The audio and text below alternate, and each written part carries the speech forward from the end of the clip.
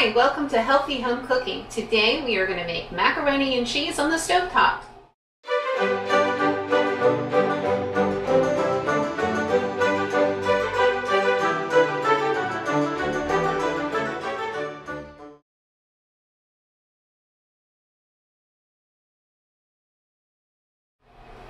To make macaroni and cheese, first you want to boil one pound of elbow noodles according to their package directions.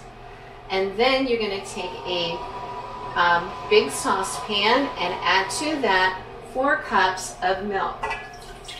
I'm using almond milk, but you can use any kind of milk you like. To that, I'm going to add six tablespoons of flour. If you like it thicker, add more flour. If you like it thinner, add a little less. One and a half tablespoons of vegetable bouillon. And we're so close to the end of this jar that I've decided whatever's in that jar is going to equal one and a half tablespoons. Two tablespoons of onion powder.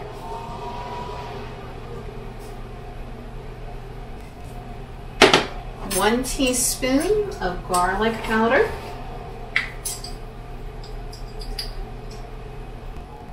and one half teaspoon of ground black pepper.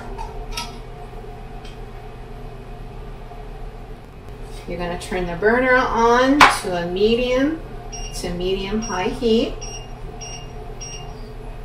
and whisk everything together.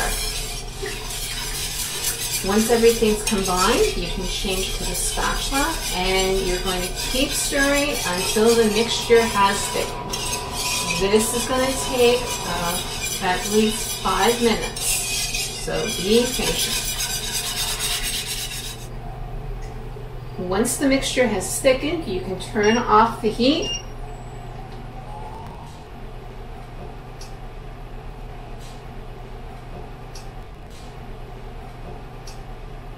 add one pound of shredded cheddar cheese. Stir it until it's melted through and through. And then at this point, you have a choice depending on what your family likes.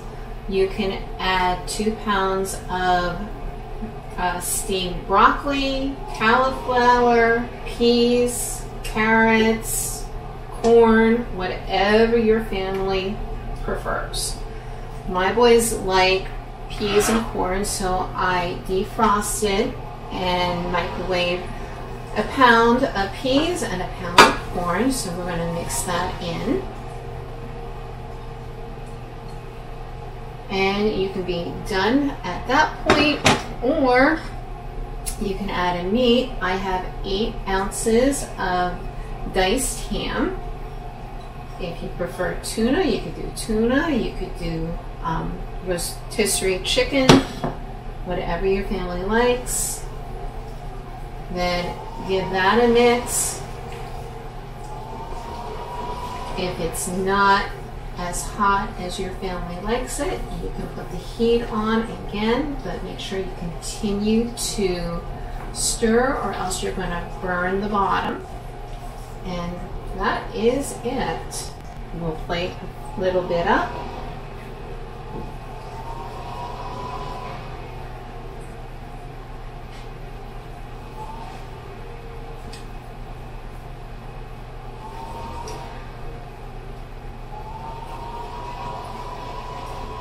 And there you have it.